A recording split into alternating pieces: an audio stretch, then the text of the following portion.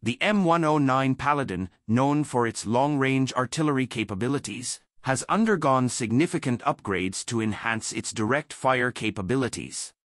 This evolution allows the Paladin to engage targets at much closer ranges with precision and accuracy, expanding its role beyond traditional artillery support. Central to the M109 Paladin's direct fire capability is its advanced fire control system. Equipped with cutting-edge technology, including laser rangefinders and ballistic computers, the Paladin can accurately target and engage enemy forces in direct line-of-sight engagements.